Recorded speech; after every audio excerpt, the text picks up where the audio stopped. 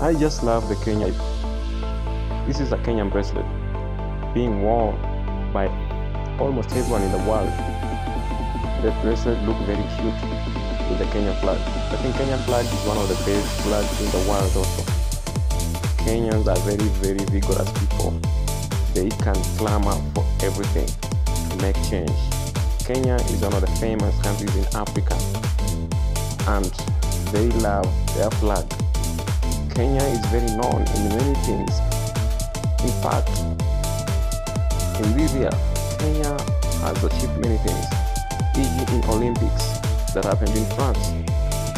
Kenya topped in Africa with medals. Kenya has been known with so many athletes who are very, very, very hardworking to make sure that they bring gold, silver, and bronze back home.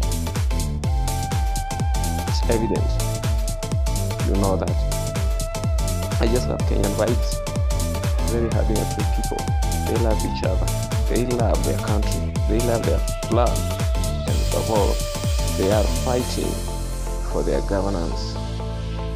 For good governance, that is. Kenya is just a vibe. I like the vibe. The vibe for Kenyans is very, very great. Very great. Very, very great.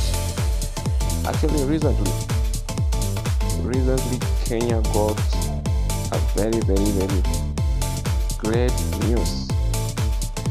And the news was Kenya is qualified for the next World Cup. Yeah, they qualified. You see, Kenya is among the teams that qualified. Kenya is going to make wonders with that, those, days. You know, the support that the Kenyan people are going to give their team will be so great and immense. Kenyans people, they love their flag, but their love, the, the, the, the love they have, they have for their flag is so great. Just like flag itself, it's a great flag. Kenyans are also great in rugby. Even this foreigner can testify how Kenya is good.